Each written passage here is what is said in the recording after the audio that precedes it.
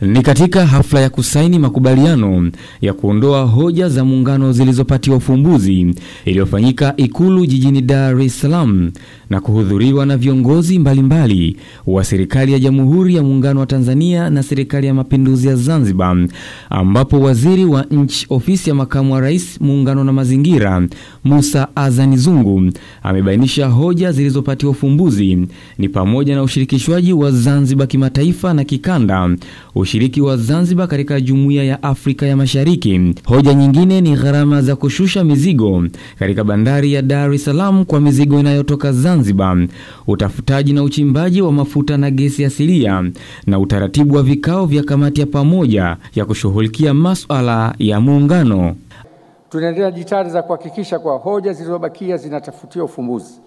Tunategemea baada ya serikali mpya ya SMT na SMZ kuingia madarakani, vikao vya kamati ya pamoja vya SMT na SMZ ngazi zote vitaendelea kufanyika. Akizungumza kwenye hafla hiyo, Waziri Mkuu wa Jamhuri ya Muungano wa Tanzania Kassim Majaliwa amesema kuwa katika kipindi cha miaka mitano serikali imeonyesha dhamira kwa vitendo katika kuimarisha muungano. Chango na juhudi kubwa za Mheshimiwa Dr. John Joseph Magufuli, Rais wa Jamhuri ya Muungano wa Tanzania, kwa pamoja na Mheshimiwa Dr. Ali Mohamed Shein, Rais wa Zanzibar na mwenyekiti wa Baraza la Mapinduzi katika kuimarisha muungano wetu.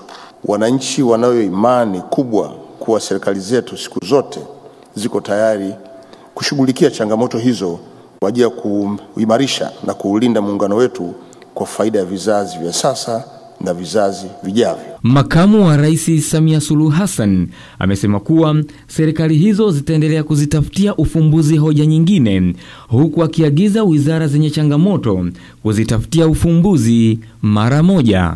Tuna uwezo wa kuzitatua changamoto zote hizo na zitakazoibuka, kwani amani, maendeleo na ustawi wetu kama taifa ziko ndani ya muungano wetu huu. Naziagiza wizara zenye hoja ambazo hazijapatiwa ufumbuzi kuchukua jitihada za makusudi kutafuta ufumbuzi wa hoja hizo.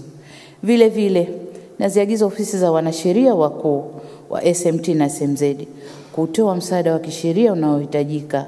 Baadhi ya viongozi walioshiriki hafla hiyo wamezungumzia umuhimu wa kuendelea kudumisha na kuuenzi muungano. Kusainiwa kwa hati hizi kutasaidia kuwajengea imani wananchi juu ya serikali zao kwamba ni serikali zinazofanya kazi kwa ushirikiano wa hali ya juu. Ninataka nikuhakikishie kwamba serikali zetu mbili za awamu ijayo, serikali za Chama cha Mapinduzi,